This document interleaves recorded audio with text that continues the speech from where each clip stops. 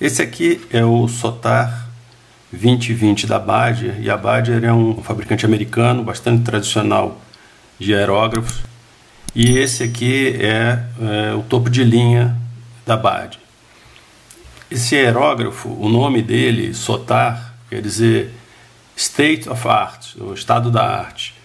E 2020 é uma expressão que é muito usada nos Estados Unidos para significar uma visão perfeita. Então é uma combinação aí de, de nomes para dar a impressão de que é um aerógrafo realmente para detalhes. O SOTAR foi criado é, na época em que a Iwata estava lançando os aerógrafos é, Micron, que eram aerógrafos para detalhe. E a ideia inicial era que isso aqui fosse como uma marca é, separada. Tanto que aqui ele não tem, vou tirar a caixinha aqui, separar as peças, ele não tem escrito aqui Badger aqui em lugar nenhum só a indicação de que é fabricado nos Estados Unidos. Mas depois eles acabaram não, não seguindo em frente com essa ideia e uh, o aerógrafo faz parte da linha normal da Baja. Bom, o, o Sotar ele é um aerógrafo relativamente leve. Vamos dar uma pesada nele aqui. E eu vou aproveitar aí na descrição desse vídeo eu vou deixar o peso de todos os aerógrafos que a gente já reviu aqui para ter uma ideia de como é que isso se comporta. Vou botar aqui o adaptador nele, porque nos outros aerógrafos eu pesei com o adaptador.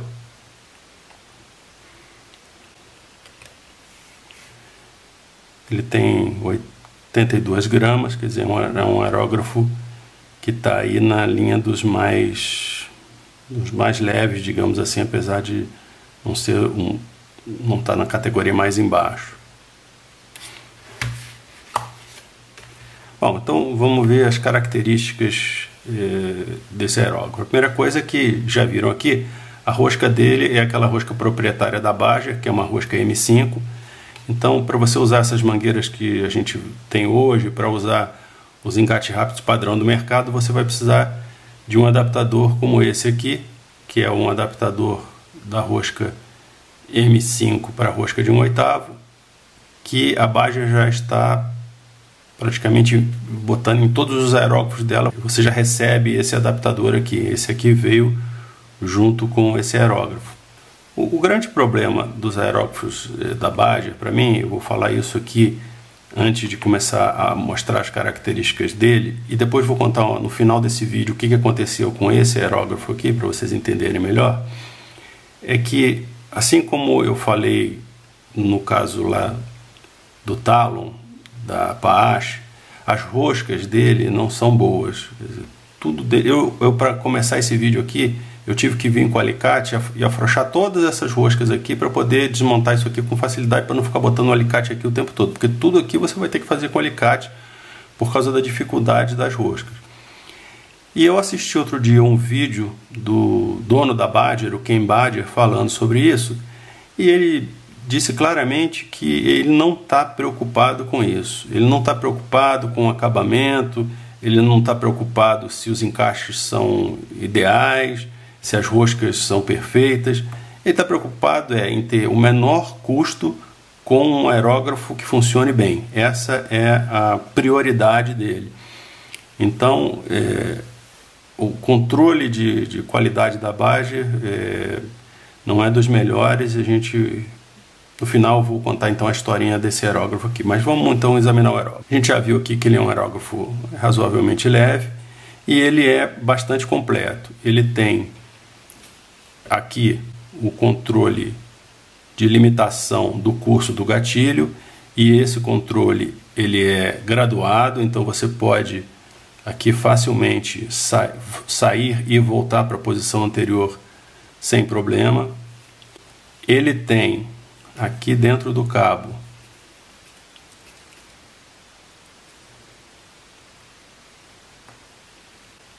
o controle de tensão do gatilho, que ele não dá para você mexer nele aqui por esse por essa visita aqui do cabo, mas ele é uma pecinha simples aqui, aqui você controla a tensão do gatilho.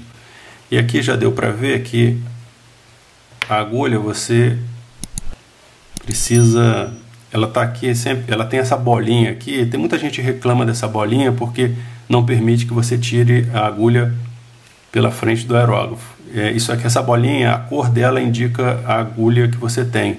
As agulhas da Baja elas não, elas não têm uma medida, eles mesmo não divulgam muitas medidas, se é 02, se é 03, eles, eles preferem falar em super fino, fino, médio, largo. Então essa aqui, é a bolinha preta, é a agulha mais fina da Badger, é o bico mais fino que grosso modo corresponde a um, a um bico 02.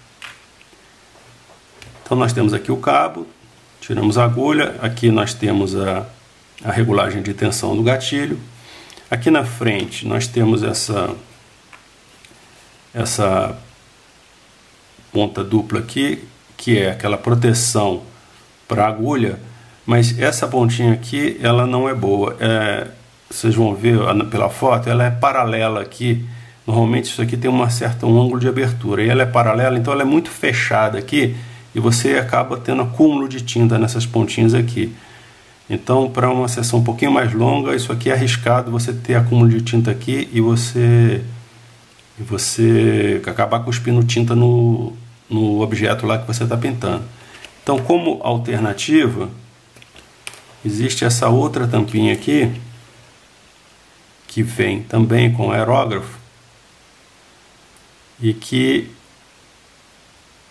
ela deixa a agulha é, totalmente exposta. Eu vou botar a agulha aqui novamente para ficar claro isso.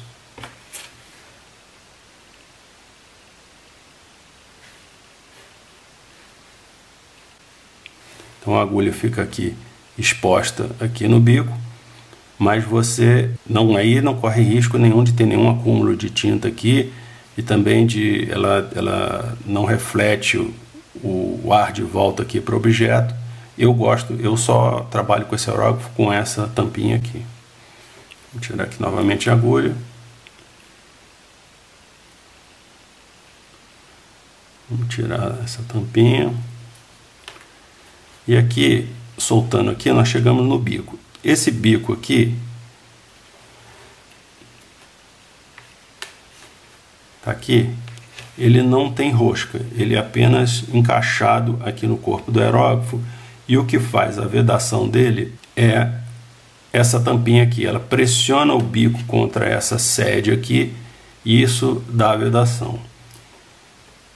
Isso é uma maneira que a Badger encontrou para não haver problema de centralização do bico. Quer dizer, você mesmo que você, você como não tem rosca aqui, você não tem a possibilidade de ter um defeito na rosca e o bico vai estar sempre centralizado com a capa, porque é a capa que coloca o bico na posição. No entanto, isso aqui tem algumas desvantagens.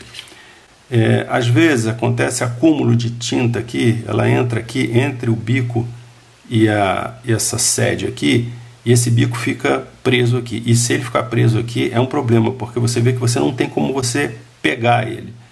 Você tentar botar uma ferramenta aqui para puxar, você vai amassar com certeza esse bico. Então, a única maneira de soltar é deixar isso aqui mergulhado no thinner com bastante paciência até que ele amoleça essa tinta que eventualmente ficou presa aqui e o bico saia. Da mesma forma, às vezes o bico fica preso aqui nessa capa. Como essa capa pressiona o bico aqui contra o aerógrafo, também pode acontecer dele ficar preso aqui e aí é a mesma coisa. Não, não tenta colocar lá em uma ferramenta, não tenta fazer força, simplesmente mergulha isso aqui no thinner e deixa que ele solte sozinho. Vamos recolocar esse bico aqui, ele além de tudo é bem pequenininho.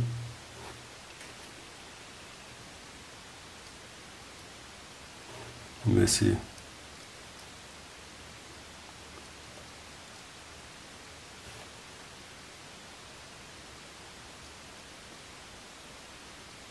Ele fica meio soltinho aqui, mas à medida que a capa vai descendo, ela ajusta ele lá na posição. E como eu falei, você vê, a rosca aqui, por exemplo, não chega no final. Quase todos esses aerógrafos da Baja, você vai encontrar esse problema. As roscas nunca são 100% ajustadas, tem sempre essas folgas. É o que o cara da Baja falou. É assim mesmo, eu não me preocupo com isso. Isso aqui não, não altera em nada o funcionamento do aerógrafo, é apenas uma questão estética eh, não é a nossa preocupação. Aqui nós podemos soltar o conjunto inteiro, que é onde vai a sede do bico, e aqui dentro nós temos dois anéis de teflon. Esse primeiro anel aqui é o anel que impede que o ar é, retorne aqui para dentro, dessa, através dessa rosca, para dentro do copo. Então esse anel aqui ele é importante para evitar que você tenha bolha no copo. E aquele, aquele anel de vedação interno que impede que a tinta retorne aqui e saia pelo gatilho, no caso da Badger, é, é um problema porque você não tem. Ele não é roscado, ele é um tubinho de teflon que ele é colocado aqui sob pressão para dar vedação. Para trocar esse tubo, a Badger é, ela diz que você não pode fazer essa troca. Essa troca tem que ser feita por eles. Mas não, não é bem assim, dá para fazer. Eu já fiz várias vezes trocas é, dessas peças, mas é muito chato de fazer. Porque esse tubinho, quando ele entra aqui, ele, ele entra sob pressão, ele normalmente fecha tanto que a agulha fica travada.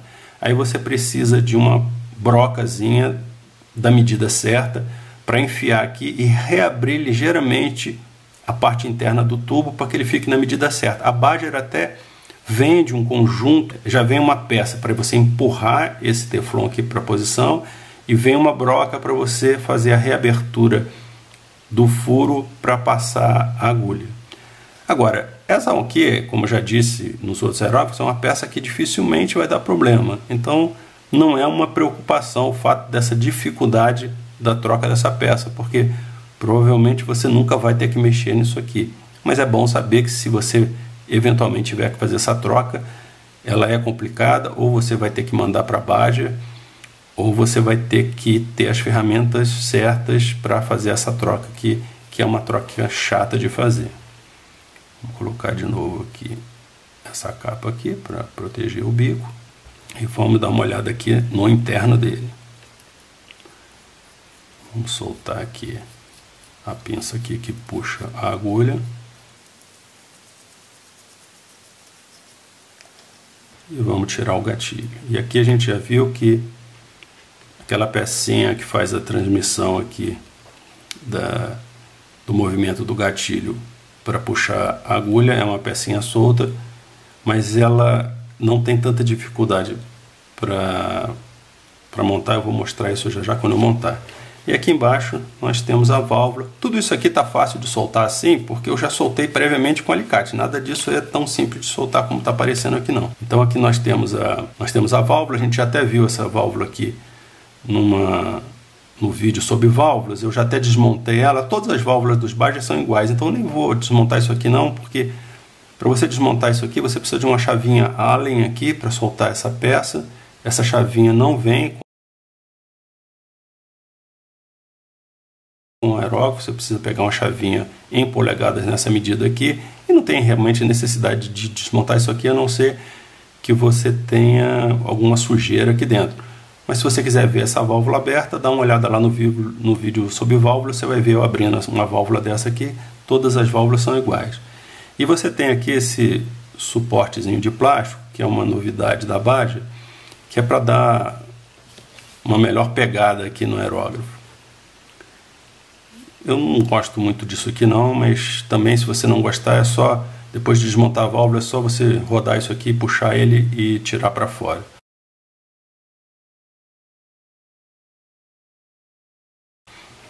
Então, é, se você não gostar não é um problema, mas tem gente que acha que é uma boa porque dá um pouco mais de apoio no dedo ali. Vou colocar aqui a válvula novamente no lugar. E aí agora para remontar o gatilho,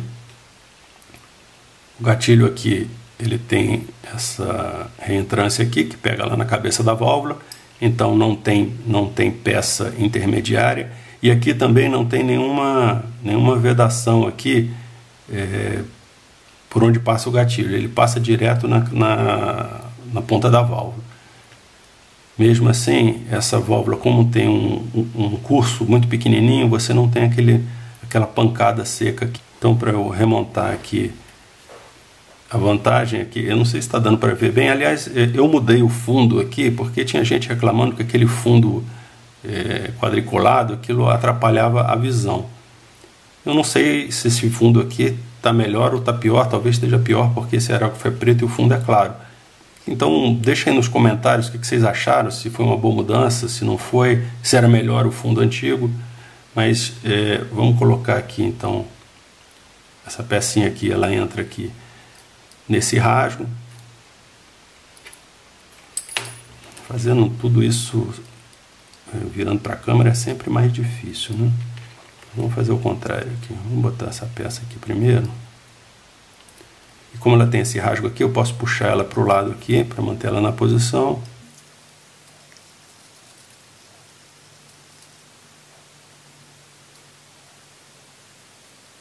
Peraí, tem que, primeiro eu tenho que ajustar isso aqui, porque ele tem uma posição correta aqui, é isso.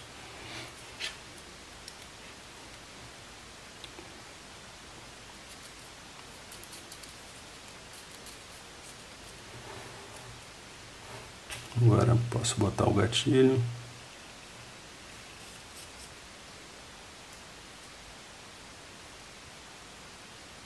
Esse, essa posição, eu não sei por que, que eles fizeram esse esse rasgo aqui que só deixa isso aqui correr numa posição, porque isso não muda nada do funcionamento, ela atrapalha um pouco na hora de remontar, mas tem muito problema, já está montado aqui. Vamos recolocar o cabo.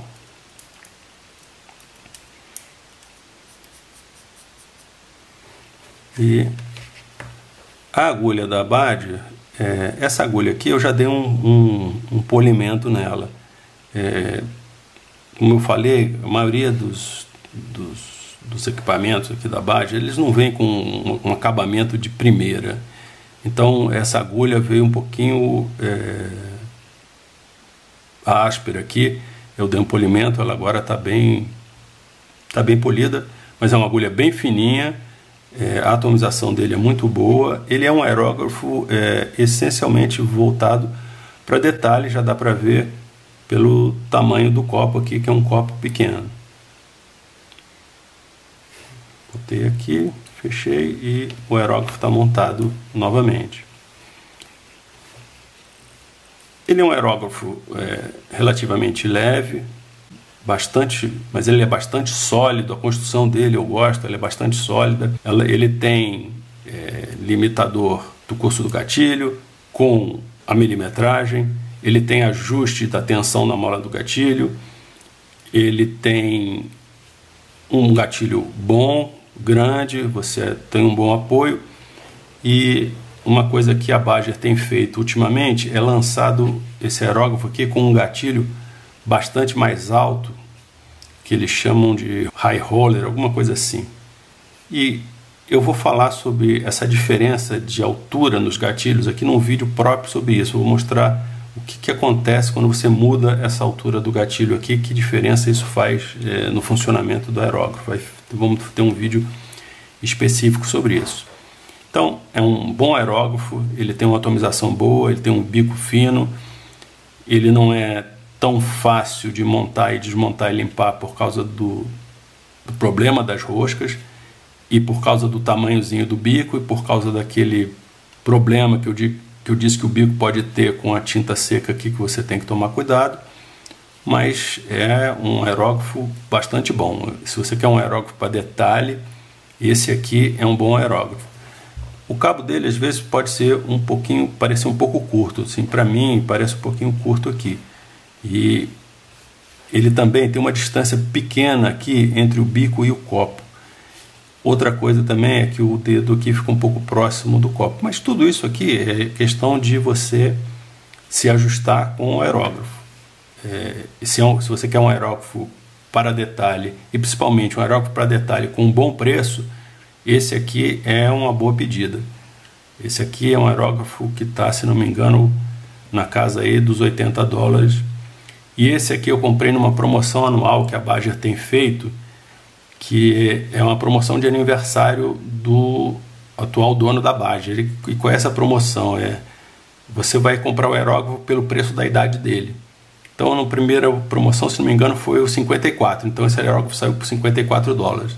Depois 55, quer dizer, cada ano que ele avança, ele fica um pouquinho mais caro. Mas para gente aqui no Brasil tem um problema que é o frete, que dá uns 30 dólares. Então ele vai sair aí por uns 80, 90 dólares. É, ainda assim é um bom preço, porque já é com frete. Então, se você está interessado nisso, espere a próxima promoção ela acontece no começo do ano. Agora, vale lembrar o seguinte, que essa promoção, assim, você compra aerógrafo e ninguém sabe quando você vai receber. Você pode levar um mês, dois meses, três meses, seis meses para receber. Vai depender do número de aerógrafos que eles vendem, da capacidade que eles têm de entregar, da organização deles. E como eles não são muito organizados, isso demora. Mas chega, todo mundo recebe. Então, eh, se você quer um aerógrafo da Baja, e aí vale para qualquer aerógrafo, todos os aerógrafos têm o mesmo preço. Então é uma chance de pegar o melhor deles, ou esse aqui, ou talvez o Chrome. Tem gente que gosta mais do Chrome, mas é uma, é uma boa oportunidade. E para encerrar, o que, que aconteceu com esse aerógrafo? Eu comprei ele na promoção. É, demorou para chegar. Quando ele chegou, eu a primeira coisa que eu faço com qualquer aerógrafo, botei um pouquinho de álcool aqui e apertei o gatilho para testar e na mesma hora subiu bolha para todo lado. Bom, pensei, o que, que pode estar tá acontecendo? Um aerógrafo novo Bom, pode ser que esse bico aqui esteja, não esteja bem encaixado, a capa não esteja na posição. Eu tirei a capa, eu tirei o bico, recoloquei tudo e ele continuava fazendo muita bolha no copo. Eu tenho um vídeo especificamente para a gente identificar esse problema, né? E eu que conheço bem isso, não pensei no problema que certamente era o mais provável, porque era um aerógrafo novo, eu tinha tirado ele da caixa. Eu achei que ele nunca poderia ter um problema no bico. Mas depois de eliminar todas as outras possibilidades, eu resolvi examinar o bico com a lupa e o bico estava rachado. E aí eu escrevi para a Baja e falei, olha só, eu recebi o aerógrafo e ele chegou com o bico rachado e está fazendo bolha no copo. Aí o, o, o, cara lá da Baja me escreveu de volta e falou assim, você pode me mandar uma fotografia só para a gente ter certeza que o problema é esse? Eu falei, posso. Mandei a foto. Ele falou, ok, tem razão, o bico está rachado, nós vamos te mandar um bico novo. E efetivamente eles me mandaram um bico novo, eu coloquei e o aerógrafo ficou perfeito. Agora o engraçado é que, passado, é, sei lá, um mês, um mês e pouco disso, ele me escreveu e perguntou: Olha só, resolveu o seu problema? O aerógrafo está bom? Falei: Tá, o aerógrafo está bom, resolveu, era isso mesmo, era o bico, beleza. Passou mais um tempo, na época, eu fiz um cadastro no Correio Americano que você pode fazer. Você cadastra os seus dados lá e toda vez que alguém posta alguma coisa para você no Correio Americano, eles te mandam um e-mail avisando que a pessoa mandou uma coisa para você. É interessante isso. Eu não sei se ainda está valendo, mas tinha isso. E aí eu recebi um aviso que a Badger tinha, tinha me mandado alguma coisa. Eu falei, ué, eu não comprei nada, eu, o problema já está resolvido, o bico já está aqui que é isso? Bom, esperei. E aí o que, que aconteceu? Eles me mandaram bico, capa e agulha, tudo novo. E foi simplesmente como uma compensação pelo problema que eu tive. Então, assim, o atendimento deles é espetacular. Além disso, eles não cobram mão de obra para consertar o aerógrafo, eles cobram uma taxa fixa lá e as peças que eles tiverem que trocar. Então, o nosso problema é que a gente está longe e tem o problema de correio. Mas eles, eh, eles resolvem qualquer problema. Pode demorar, às vezes a comunicação é lenta, às vezes a resposta demora, mas eles resolvem. Então são dois pesos na balança. De um lado você tem um aerógrafo que, dito por eles mesmos, não é um aerógrafo que eles se preocupam com acabamento. E o controle de qualidade deles efetivamente é fraco. Se você procurar aí nos grupos de, de Facebook, de aerógrafo, você vai ver um monte de gente reclamando de problema. Por outro lado, eles resolvem qualquer problema. Mandam a peça, se você mandar o aerógrafo para lá, eles consertam, te devolvem o aerógrafo perfeito, trocam o que tiver que trocar. Você não vai ter nenhum problema com a assistência técnica deles, pelo menos na minha experiência. Aí é uma questão de botar isso na balança, porque a gente está aqui no Brasil, a gente tem problema de correio, e você pode ficar com o aerógrafo parado muito tempo até, até conseguir resolver. Mas o meu, eu tenho um, um, certo carinho com essa marca, porque o meu primeiro aerógrafo foi Baja, o meu segundo aerógrafo foi Baja, o meu terceiro aerógrafo foi Baja.